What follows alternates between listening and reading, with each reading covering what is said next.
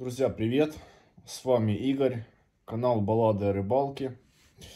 Вот, и сегодняшнее мое видео это ответ на многочисленные просьбы а, наших зарубежных ребят, а именно казахов, а, ребят из Узбекистана, из Болгарии, из Сербии, а, Таджикистана, которые просили сделать русскоязычную дорожку.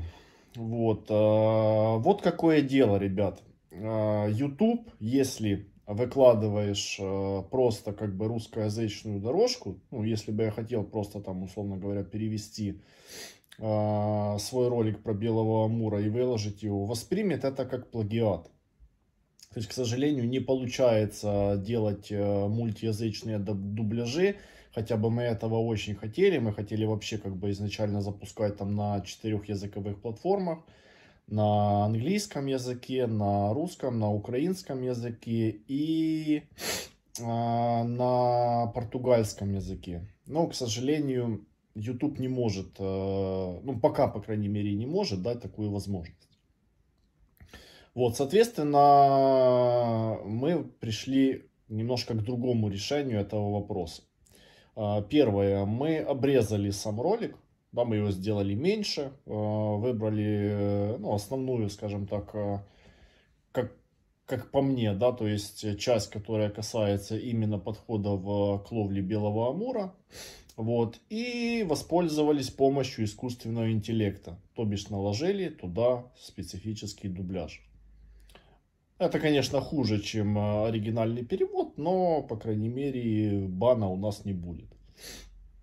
Вот. И далее вы увидите, как, как раз уже дублированный ролик при помощи искусственного интеллекта. Заодно, в принципе, скажете, да, то есть заходит вам а, такой формат или нет. Если да, то ну, по-хорошему мы можем вот так вот пока что выкручиваться, пока, пока не будет ну, скажем так, какого-то другого результата. Также вам напоминаю, что у нас 14 а, языков, на которых мы выпускаем свои видео. То есть, ну, они идут в формате субтитров. Поэтому, если вы а, не понимаете украинский язык, вы можете включить субтитровую дорожку и видеть непосредственно там а, уже как бы там перевод тех или иных слов. А, также я хочу анонсировать то, что мы запустили англоязычную версию баллады о рыбалке. Вот, она будет, а, ссылочка будет под вот этим видео. А, и кому более комфортно из зрителей смотреть нас на языке э, оригинала, то бишь на англоязычный, ну это больше для англоязычной аудитории, вы можете смотреть э, наши ролики, которые будут выходить в том числе и на англоязычной платформе. А, они будут точно так же переводиться при помощи искусственного интеллекта, потому что, ну, пока, по крайней мере, мы другой возможности, как это делать, не придумали. Да, если у кого-то, кто-то знает, либо есть какие-то идеи, то, пожалуйста, нам а, можете как бы написать. Вот. А пока что Смотрите дальше, жду ваших комментариев. Э, ну, мне просто вот это первое видео, которое мы выпустим в таком формате. Мне просто вот именно интересно, а, что вы думаете вот э, по поводу вот такого варианта а, выпуска. Э, приятного просмотра. Всем пока. До следующих встреч. В зависимости от водоема, где вы будете ловить, не столько самого водоема, сколько окружающей среды в этом водоеме, наличие или отсутствие течения, глубины и доступности к самому водоему. Начну с самого простого и, возможно, для большинства любимого способа. Это классическая прямая поплавочная удочка, которую можно использовать во многих ситуациях. Если не знаешь, она выглядит так. Выбирайте удилище, которое в среднем было 5 метров.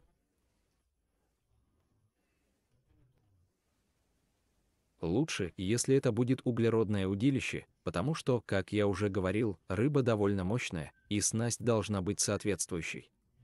Чтобы не получилось так, что каждый клев рыбы закончится у вас минус удилище.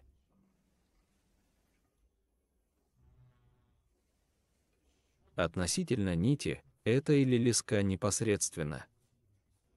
Предпочтение отдается прямой леске. Вы прикрепляете нить в крайнем случае, когда у вас, условно говоря, экземпляры один в один весом от 20 килограммов, даже от 10 килограммов. Но лучше выбирайте леску. Диаметр желательно не более 0,25 метра.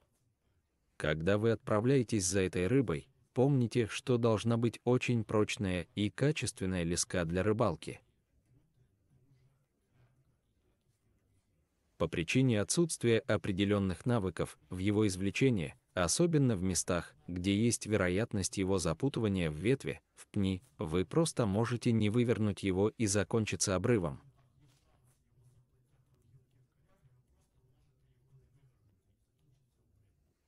Если водоем достаточно чист и есть достаточный запас лески плюс нормальная катушка, то вы можете просто его заморить. В общем, провести всю эту баталию с условно тонкой леской. Почему я обращаю на это внимание? Он может проигнорировать вашу приманку там, где будет толстая леска. Я неоднократно наблюдал за этим и на практике убедился в этом на 100%. Второе, крючки 6 и 10, интервал от 6 до 10, это все не используйте большие крючки, они вам просто не нужны. Лучше возьмите те крючки, которые в этом диапазоне будут такие, как нужно, то есть не распрямляться, не ломаться, это кованый обязательно крючок. Мы, конечно, отдадим предпочтение японским крючкам, потому что качество там действительно высокое. Я лично рекомендую их вам. Я ловлю прямо такими крючками. В чем их особенность? Они выглядят примерно таким образом. Видите? В них нет жала. Не обязательно использовать их именно. Это не реклама, точка. Это, скажем так, еще не было случая, что он у меня сломался. Рыба ушла. При засечке крючок впивается, рыба не вырвется. Единственное, что вам не нужно слишком ослаблять. Это вообще не нужно, но с этой крючка мало шансов, что у вас убежит рыба. Я не знаю, как сделаны, но они бессмертны. Точка. В крайнем случае вы можете использовать карповые крючки, которые выдерживают достаточно сильные нагрузки.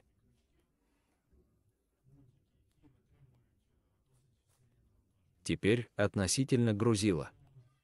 Используйте скользящее грузило.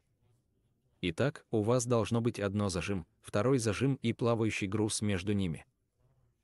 Зачем это нужно? Ваша основная задача на поплавочную удочку сделать максимально легкий и незаметный монтаж.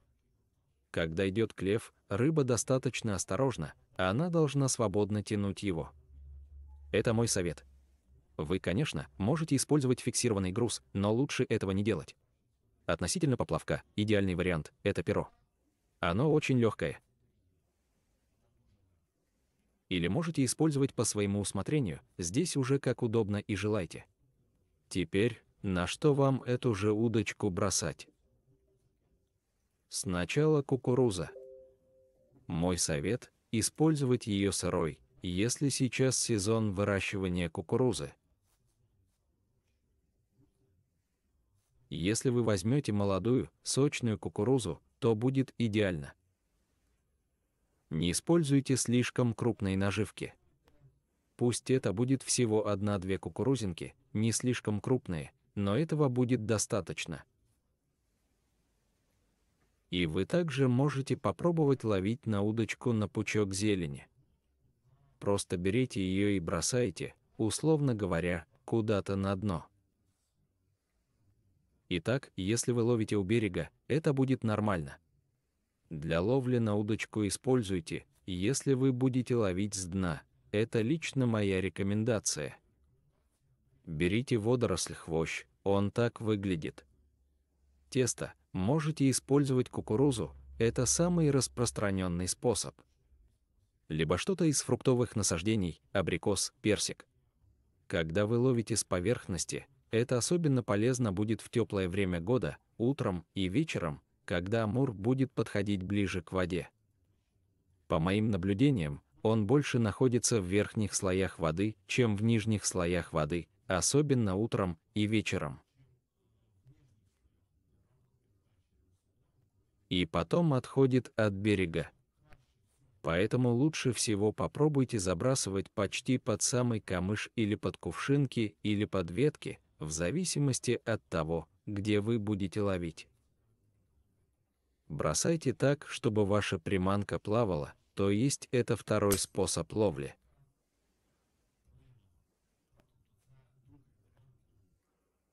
Здесь вы можете использовать два наиболее распространенных варианта. Первый вариант ловля на тростник. И второй вариант – хлебная корка, которая также будет плавать. Работает и то, и другое.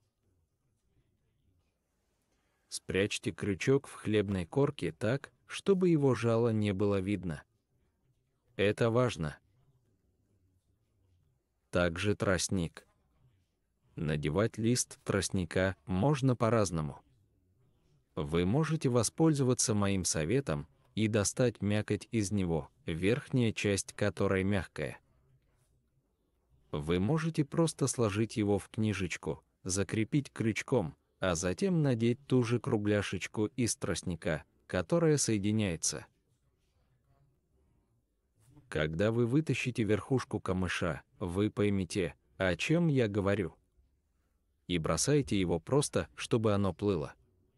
Единственное, если там есть проточная вода, то имейте в виду, что ваш снасть будет плыть. Предварительно подумайте, как вы это сделаете, чтобы оно держалось на месте.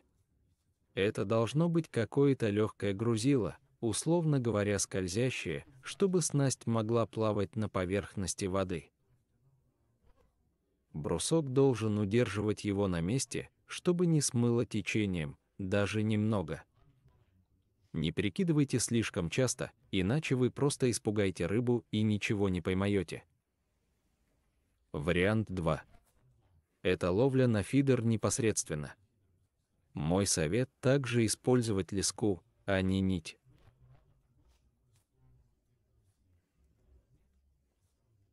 Лучше использовать нить там, где клюет белый амур.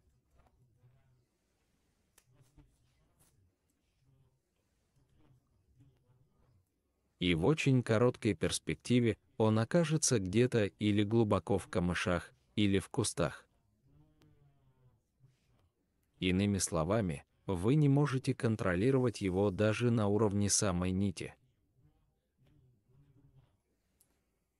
Если у вас относительно чистый водоем, то лучше использовать леску, потому что белый амур очень хорошо видит все это дело.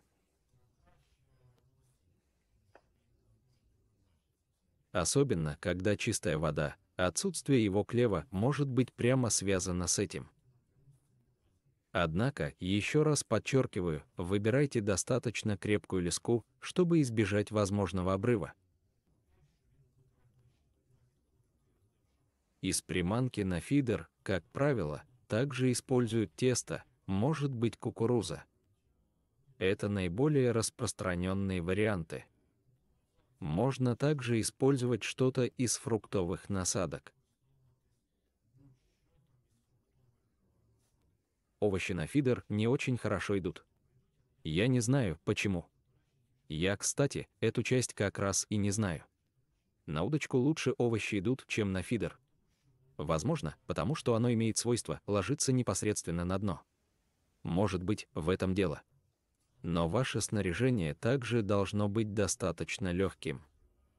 Лучше всего использовать для этого флет-фидер. Он и легкий, и достаточно далеко можно его забросить. Вы можете использовать любые насадки, то есть это могут быть фруктовые насадки, это может быть кукуруза, тесто. Почему-то мало кто из нас использует с рыболовов, но это один из лучших вариантов для ловли с дна, не только для амура, но и для карпа в том числе. Теперь я расскажу о двух способах его ловли, которые не уверен, что многие используют или вообще не используют. Первый, точнее третий способ ловли белого амура – это наджик. Да, вы именно правильно услышали, это приманка, специально созданная для привлечения хищника. Давайте скажем.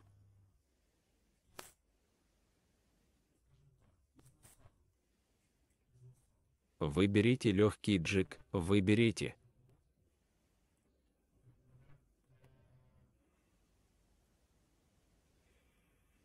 Ну, я даже не буду говорить точно, какую именно. Выбирайте в магазине вариацию с фруктовыми вкусами.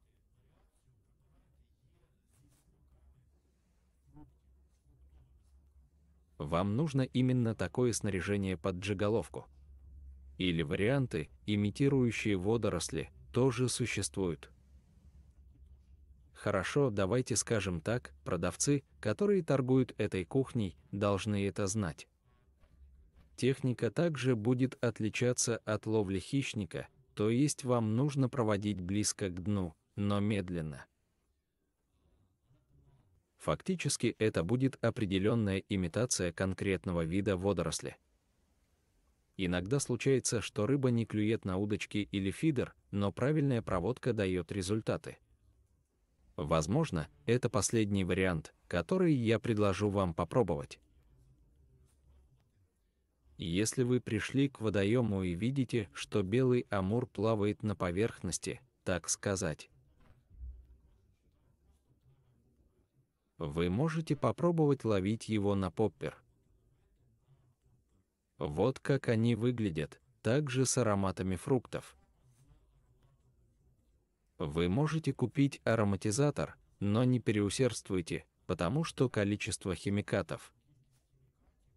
Что будет отличаться от запаха фруктов, условно говоря, концентрация, если вы переборщите? Она больше пугает белого амура, чем привлекает его. Нежный, тонкий запах важен. Примите это к сведению. Вы просто бросаете поппер на поверхность, он плывет, и амур имеет свойство подплыть к нему и укусить. Единственное, что прикройте крючки. Закройте, чтобы крючки не высовывались с открытым жалом. Это может быть какой-то кусочек водоросли или камыша, или что-то еще. Этого будет достаточно. Не делайте так, чтобы они не были покрытыми. Следующий разговор о следующем. Что не нравится белому амуру? Либо какую из приманок, оснасток или наживок белый амур быстрее проигнорирует, чем предпочтет.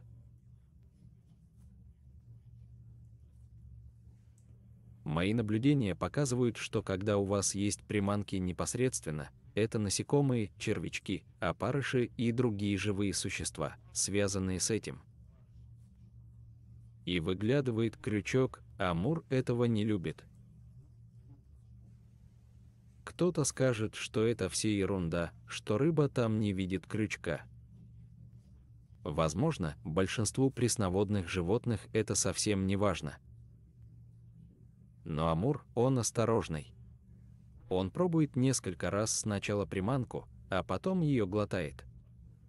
И когда он попадает на крючок, он отходит лучше закрывать крючок, чтобы избежать убегания. Это первое.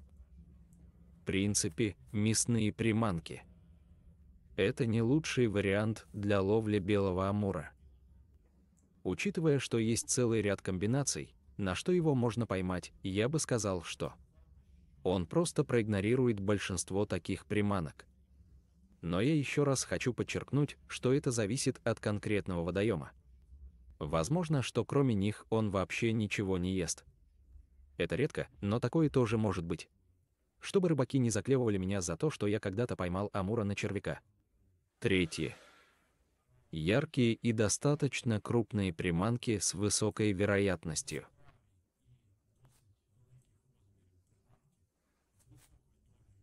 Белым амуром будут проигнорированы. Когда вы предпочитаете насадки, приманки и Т-дней.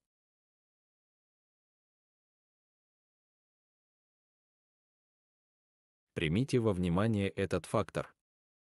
Если, например, вы возьмете трех кукурузы и возьмете одну кукурузу, с высокой вероятностью амур клюнет там, где одна кукурузина. Я привожу вам эту аналогию, чтобы вы примерно поняли. Если вы, например, понимаете пенотесто,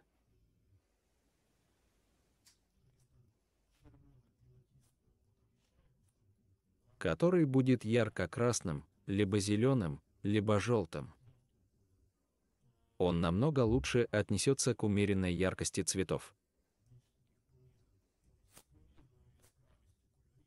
Или слишком ярких и насыщенных цветов. Также обратите внимание на это. Ароматы. Это, наверное, один из ключевых элементов. Сначала ему не нравятся искусственные ароматы. Некоторые рыбаки считают, особенно в начале своего пути. Если в ведре там каша или в приманке впаять целую кучу химикатов. Это будет здорово. Чем больше, тем лучше распространяется запах. Рыба видит эпицентр. Это полная ложь. лучше вообще не использовать никаких искусственных запахов. В противном случае, если вы пытаетесь ароматизировать поппер, например, или о силикончике, о котором я говорил ранее, немного, совсем немного, очень-очень немного. И все, что не является характерным для живых запахов, просто игнорируйте вы вообще его не используете. Пятое, вероятно, это в основном последнее, не используйте тяжелые наживки или приманки. Постарайтесь, чтобы у вас они были легче. Потому что, как я уже говорил выше, Амур в первую очередь он сначала пробует. И потом он глотает. Если у вас будет тяжелая насадка с высокой вероятностью, не будет есть, только толкает носом. Теперь давайте поговорим о том, что белый амур не очень любит или не любит. Различные виды мясных насадок с открытым крючком. Если у вас случай, когда белый амур не может есть зелень, потому что он у вас клюет как-то прямо на опарыш, какие-то комары. Используйте закрытый крючок. То есть закройте его вашей приманкой. Принцип клювания белого амура заключается в том, что он сначала осторожно пробует пищу. Затем он уже глотает эту приманку. Не относится к случаям, когда рыба очень голодна. И она с силой хватает все и уходит. Это довольно редко случается. Поэтому закрывайте жало. Во-вторых, постарайтесь вообще не использовать мясные приманки для этой рыбы. Потому что при наличии других вариантов ловли белого амура, это последнее, чем нужно злоупотреблять. Третье. Это когда вы используете достаточно крупные насадки яркого цвета.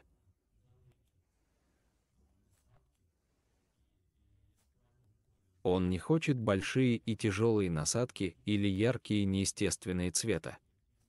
Постарайтесь минимизировать количество этого в своем рационе. Четвертое и, вероятно, одно из самых распространенных – это то, что рыба не любит неестественные запахи и ароматы.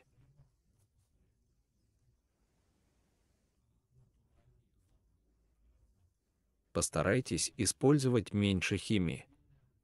Единственное исключение, когда вы добавляете силиконки, попперы и тому подобное, чтобы придать им фруктовые или овощные вкусы. Но делайте это очень осторожно и внимательно. Используя пример с огурцом, объясню, чтобы вы поняли. Вот огурец, вот вы его нюхаете, он имеет определенный запах, и вы открываете бутылочку с ароматом огуречным. Он намного более интенсивный, он концентрированный. Наносите аромат на приманку так, чтобы запахи огурца и приманки были практически одинаковы. Это то, о чем я сейчас говорю. Итак, следующее – это место, где он не любит находиться. Как я уже упоминал ранее, белый амур не слишком приветствует сильное течение. Но если у нас есть водоем, например, с течением река, давайте возьмем. Хороший пример. На реке есть порог. Вот глубоко-глубоко, а потом идет порог. Обычно там, где перекат, течение идет сильнее. На примере это может выглядеть примерно так, как на реке, где мы рыбачили. Итак, находится место перед порогом, где река течет слабо, и там, где начинают появляться зеленые растения, он будет плавать. Место, где уже идет течение, он не любит таких мест. И особенно, когда течение, она еще связана там с каменистым дном. Он тоже этого не любит. Теперь относительно загрязнения – не может терпеть загрязнение. Если у вас есть дно, оно в мусоре, там лежат разные банки, кеды и все остальное, он будет стараться как можно дальше держаться от этих мест. Если вы возьмете точно такие же условия с дном, то, так сказать, ил-ил плюс различные банки, бутылки и прочие предметы. Там, где банки, стаканы, он в максимуме будет делать, это проплывет не любит, очень сильно не любит. И также, если у вас есть река или озеро, где-то есть труба, выходящая из того или иного завода, которая сбрасывает отходы в водоем. Скорее всего, он будет обходить десятой дорогой, потому что не любит, повторяю, когда в воде есть загрязнение и мусор. Обычно в любом производстве она сливает хоть и очищенную, как бы воду, но она загрязнена и требует специальной очистки. Если вы ловите белого амура и знаете, что у вас где-то рядом есть отбросы в реку, выберите для них место, которое будет выше по течению от места возможного загрязнения. Относительно дна. Его предпочтение касательно дна — это мягкое дно. Это может быть либо мягкая глина, либо ил, затем идет песок, а уже потом, когда нет других вариантов, это каменистое дно. Каменное дно — не его любимая часть. Это связано с тем, что он ищет себе пищу. На илистом дне реки достаточно интенсивно растет зелень, обилие микроорганизмов делает его любимым местом для него и, соответственно, на камнях мало что есть. Единственное исключение — это когда на каменистых небольших глубинах есть зелень. Она идет как мох, я не помню, как правильно называется, как на картинке, плюс-минус. Тогда он может там пастись время от времени. Однако, если у него есть альтернатива с мягким дном, кувшинкой, камышом и т то он предпочтет такое место пребывания. Теперь давайте перейдем к техникам, которые могут значительно помочь вам при ловле белого амура. Это комбинация атмосферного давления, ветра и времени суток, когда его лучше ловить.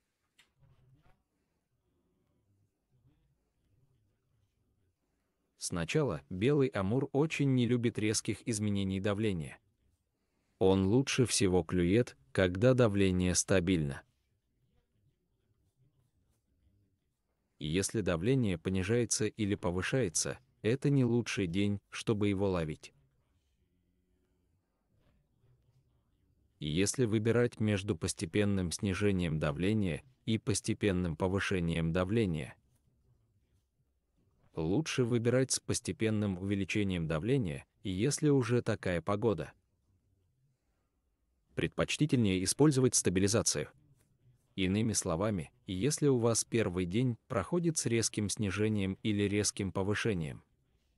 Второй день плюс-минус адаптация.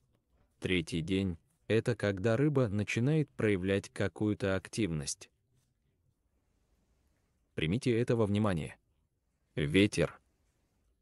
По моим наблюдениям, Амур не любит сильного ветра. Когда на водоеме идет сильный ветер, белый амур будет искать защиту в более защищенных местах. Самая распространенная ситуация при сильном ветре – белый амур плывет к камышам или кустам. И если, например, там растет какая-то верба под берегом, или клены, или еще какие-то. Это, так сказать, будет плюс-минус его тянуть туда. Третий вариант – кувшинка. Он также предпочтет непосредственно кувшинку, чтобы как-то компенсировать сильный ветер. Когда вообще нет ветра, это тоже не очень хорошо для белого амура из-за недостатка кислорода в воде. Исключение, когда температура не очень высока. Иными словами, условно говоря, у нас температура не превысит 25 градусов. В таком случае отсутствие ветра будет довольно благоприятным фактором. С единственным исключением, что когда на водоеме достаточно тихо и вода не перегрета, он может быть как под камышом, так и в зарослях, так и выходить на заболоченное место, чтобы питаться.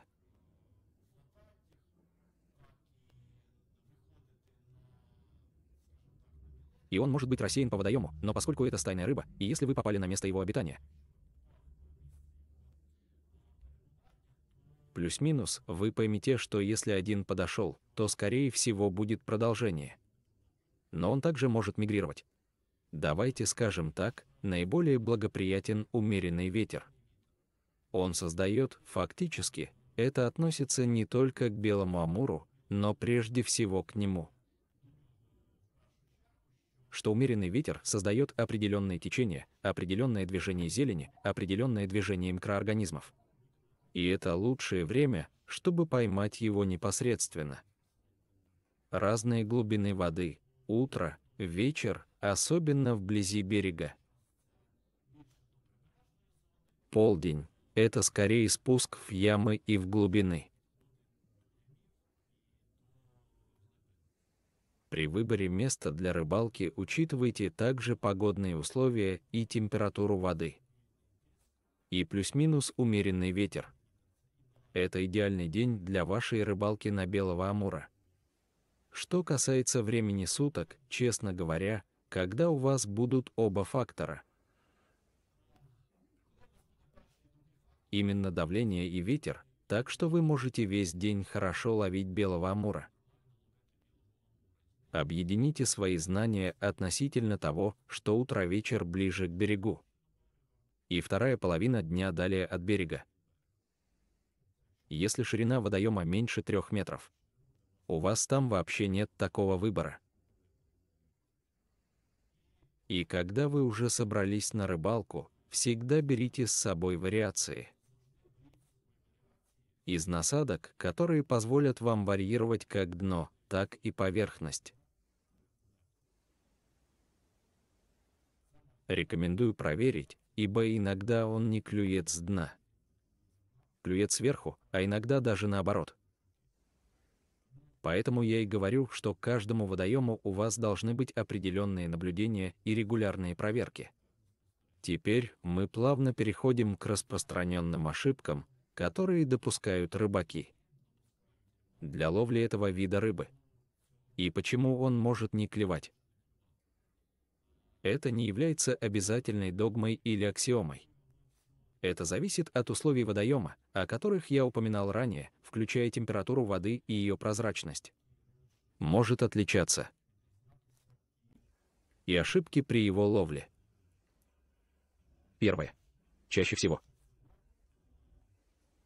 Рыбаки, которые ловят карпа. Они на Амура также используют достаточно. Большие насадки. Если цепляем на карпа, две-три кукурузы – это считается нормальным. Бойлик – это считается нормально. Амур это не любит. И поэтому, когда вы хотите увеличить шансы на его улов, минимизировать, не используйте насадку. Очень там, большой такой, чтобы она не вмещалась у него во рту.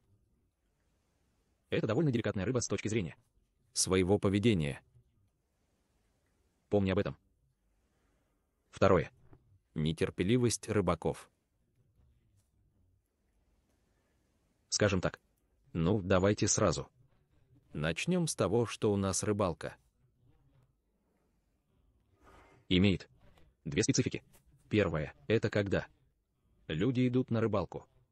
Потому что они, скажем так, закадычные рыбаки. И они готовы сидеть там часами. Смотреть на поплавок в полной тишине. Второе — идут, чтобы просто отдохнуть. Расслабиться и... Ну, скажем так, не слишком сильно придерживаться тишины. Если вы из другой категории людей, имейте в виду, что шанс поймать Амура у вас будет скорее случайностью, чем закономерностью. Рыба не любит нетерпеливых людей.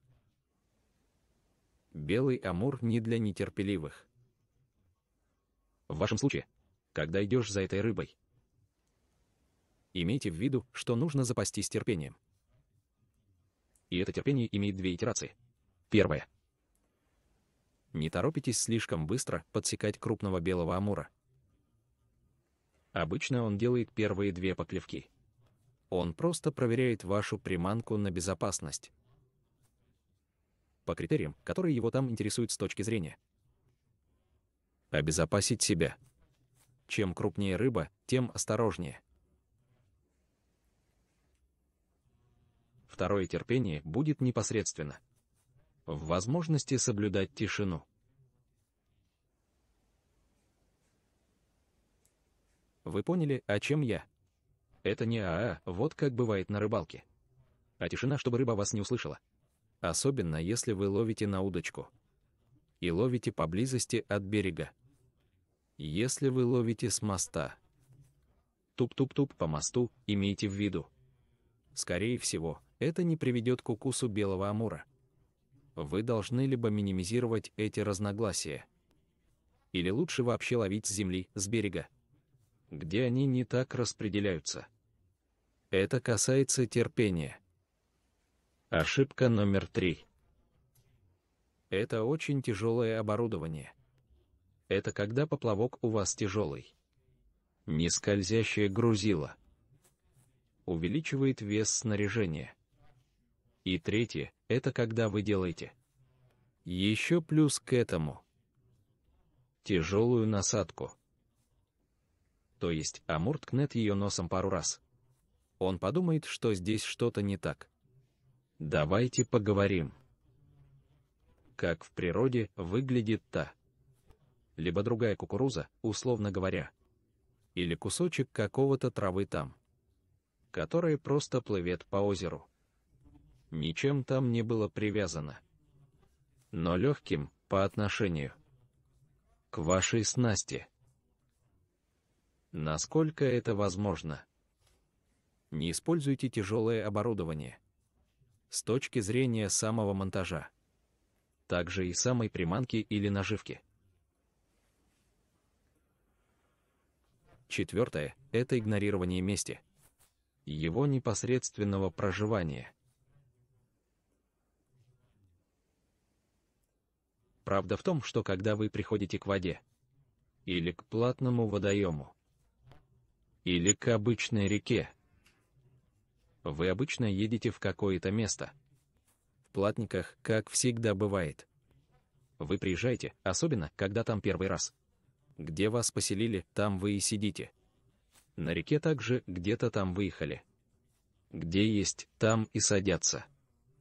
Но если вы идете к этой рыбе напрямую, Придирчиво отнеситесь к месту ловли. Помните. Три фактора. Наличие растительности на дне. Где вы будете ловить. И третье – это наличие глубины и мели. Чтобы вы понимали, что у вас может быть комбинация. Если вы, например, бросаете с мостика, и у вас там 3 метра глубины, мы не можем говорить о каких-либо берегах и мели. У вас сразу отсутствует этот фактор. Но я не могу утверждать, что это 100% не даст вам возможности для поклевки. Все зависит от того, от того же водоема. Где вы будете ловить. Но никогда не игнорируйте место, где эта рыба будет с высокой вероятностью. Сама приманка. Это, вероятно, один из ключевых факторов. Это то, что рыбаки берут, скажем так. Отойдут, взяли банку кукурузы и ушли. Все, больше ничего не интересно. Должен быть ассортимент. Я вам скажу больше. Есть водоемы, на которых. Вот я лично это видел. Даже не обращает на кукурузу внимания. А бросаешь огурец, он клюет. Или ты бросаешь туда камыш, и он его ест. И остальные не хотят. Обязательно нужно брать с собой ассортимент. Чтобы выяснить, на что именно он клюет. Это, пожалуй, основное. На что вам нужно обратить внимание. И я бы еще посоветовал следующее. Когда ловите белого амура, особенно это утром, там вечером, забудьте о свете. Не ставьте машину близко к берегу. Когда взойдет солнце, оно будет отражаться от машины в водоем. Амур боится этого. Поняли, да. По возможности, минимизируйте воздействие света. Что я еще наблюдал на собственном примере? Я был на водоеме, где обитает и карп. И карась, и белый амур, толстолоб. И карп очень любил кислую сливу. Запах в приманке покупал в магазине. И карп сильно любил ее, это было оптимальной приманкой. И то, что я видел, что когда бросаешь эту приманку, я ни разу не ловил белого амура. И когда я приезжал на тот же водоем вообще без приманки, мне попадалось, что я ловил белого амура, хотя я на него не охотился. Даже то, что у вас на руках есть запах. На руках, подчеркиваю, есть запах той или иной приманки. Вы можете не почувствовать, но будете удивлены моими словами. Вы даже можете посмеяться, но белый амур их так сильно чувствует. Я рекомендую вам даже мыть руки после использования различных химикатов для ловли той или иной рыбы. Это не обязательно, там должны быть именно руки, там с мылом вымыть. Не падайте в такое, главное, чтобы вы поняли смысл. Он не любит химию, он не любит посторонние запахи. Только запахи, которые ему присущи и естественны, скажем. И любимы именно этим видом рыбы. Обратите внимание. Когда вы путешествуете с группой или в компании кого-то, Кто не знает, как себя вести на рыбалке, лучше сразу проговорите. Потому что если вы хотите поймать эту рыбу, на берегу должна быть тишина. Не должно быть лишнего шума, не должно быть излишних стуков, громких разговоров и прочих беспокойствий. Он будет бояться этого, это повлияет непосредственно на вашу рыбалку. Наживка. Когда вы используете приманки или наживки – скрывайте всегда крючок. Я уже об этом говорил, но это также игнорируют. Потому что карпа, как правило, не нужно прятать, а на карася тем более. На амура нужно тщательно прятать крючок. Потому что он только наколется и больше не будет продолжать свой рацион, он уйдет. И последнее, на что вам нужно обратить внимание, не используйте загрязненные наушники или насадки. Иногда практика показывает, что карп и сазан клюют на прокисшую кукурузу. Это правда, Амур не может терпеть этого, он не любит запахи и вкусы, которые не свежие, поэтому он предпочитает свежую еду. Он этого не любит. также может быть любая насадка или приманка, которая уже не первой свежести, не используйте это. Более того, когда вы, например, ловите на грушу, и неважно, каким будет этот фрукт, или даже на камыш. И вы отрезали кусочек, повесили на крючок, и оно дальше лежало на воздухе и на солнце подсохло.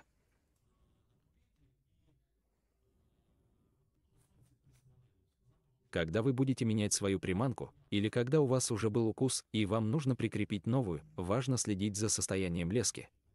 Отрежьте, чтобы было свеженькое, чтобы у вас был запах, и он был максимально возможный в этих условиях. Это не является панацеей, но все эти факторы повлияют, они дадут какой-то коэффициент процент на успешность вашей рыбалки. Итак, друзья, на сегодня это все, это основное, что я хотел вам рассказать о Белом Амуре. Надеюсь, что я ответил на большинство ваших вопросов, возможно, для профессионалов-рыбаков по этой рыбе я ничего нового не сказал. Для тех, кто только начинает свой путь или находится посреди него, я надеюсь, что дал какую-то полезную информацию. С вами был Игорь. До свидания, пишите свои вопросы, если они будут.